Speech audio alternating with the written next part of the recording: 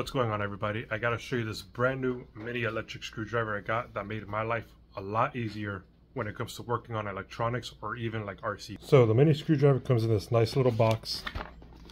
has all the information that you need. As you can see here, 650 milliamps, 0.7 newton meters on maximum electric torque, 5 newton meters on manual torque, and 200 RPMs. So as you can see here, it comes in a nice sturdy case. It comes also with a type C to USB rechargeable cable. We have a magnetic tray. So everything comes nice and neat, very easy to pull out. My favorite part is that nothing falls out of it. So it holds everything nice and snug. It's very well built, very sturdy. You got a couple buttons here. This button here is to screw in, screw out. This button here is for LED. This switch here is for your torque settings. Right now I am on 0.15.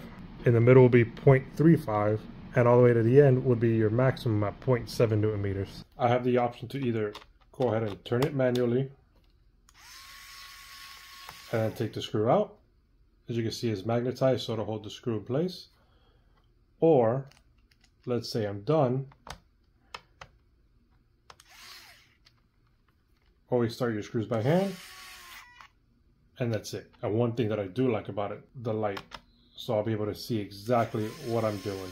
Another thing that I like about this kit is that all your bits are labeled so you know exactly which one goes where and exactly which one you need to grab. So not only does it come with the electric screwdriver but it also comes with a manual screwdriver with a pivot end that way you could hold it and twist at the same time. A flex head that way if you have to get into a tight corner you'll be able to.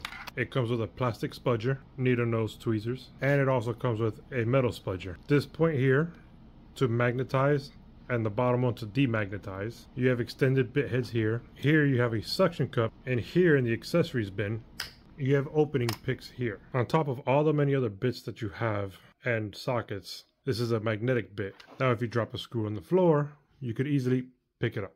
You could also use it with your screwdriver, electric screwdriver also. All in all, I highly recommend this electric screwdriver bit set. It could come in very handy. I highly recommend